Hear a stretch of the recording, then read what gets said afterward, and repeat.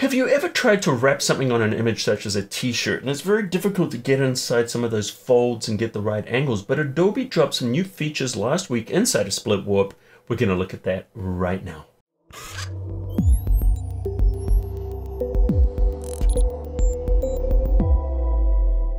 Hey Cafe crew, it's Colin Smith here from Photoshop Cafe and we're looking at some of the new features from Photoshop last week. Let's look at Split Warp.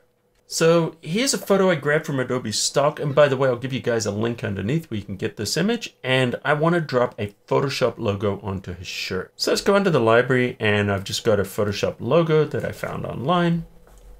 I'm going to hold down the shift key and this will enable me to drag the corner to resize it. And I'm just going to rotate it a little bit. All right, next thing we want to do is change the blending mode. Let's go to something like a multiply. Notice how it's starting to blend in a little bit better and let's take the opacity down a little bit. There we go. So here you can see some of the texture, but the Photoshop logo needs to warp to fit it. Now I've got other tutorials and I'll give you guys a link to the one I've got on displacement maps, but let me show you how to do this easily. Control Command T brings up Free Transform, and we're going to right click and we're going to go under Warp. Now the warp has been there, but there's some newer features that are available. First thing I want to do is under the grid, we're going to choose a 3x3 grid, which is going to give us a simple grid to get started with. Now, if you choose the gear icon, you can also change the color. We can change the color of those guides. We can do different things with those to make them more visible.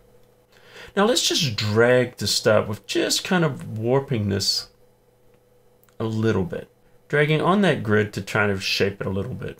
So one of the things we can do is we can drag these points and we can move the individual points.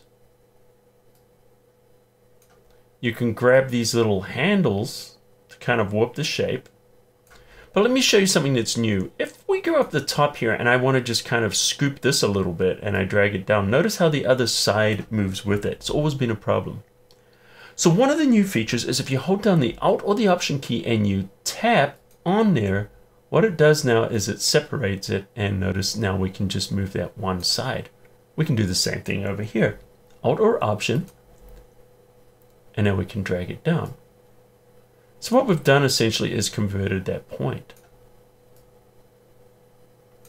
Now if you right click you can also see some of the options. This is a convert warp anchor point. If I click on that again, it's going to go back to the regular where both sides work. If I right click, remember this will give us the same option where all of these points can be manipulated individually. And that just gives us a little bit more control over how we want to go with this. Now, if we want to split this, hold down the control or command key and just move over it and notice that we can just create a new one. And why don't I create another one close to it? And then I can just kind of tuck this one underneath and it's going to give us a little bit of an appearance of a little bit of overlap. Let's see how that's looking. Just click on the background layer and we can see, okay, this is looking quite good. Maybe there's a little bit more work I want to do smoothing this out and some things. So what do we do? Well, we just simply go back there, hit Control T again or Command T on Mac, right click, back to warp, and those settings are still there. So I'm going to hold the Alt or option because I want to smoothen that down. There we go. That looks better. It was not quite working. And then you can pull these down. And if we want to split, of course, once again, Control Command key will enable us to split. If we go down the side, we can go to the top, we can split. If we go in the middle, we can do a double split. And then that enables us just to move these individual points out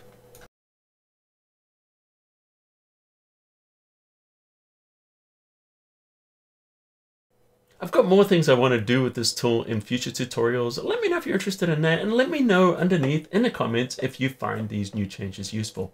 And by the way, guys, if you're new, welcome to Photoshop Cafe. Consider subscribing and ring that bell and you won't miss any of my tutorials. And if you like this or get any value out of it, do me a favor and hit that like button. It helps us with the algorithm on YouTube. So anyway, guys, until next time, I'll see you at the cafe.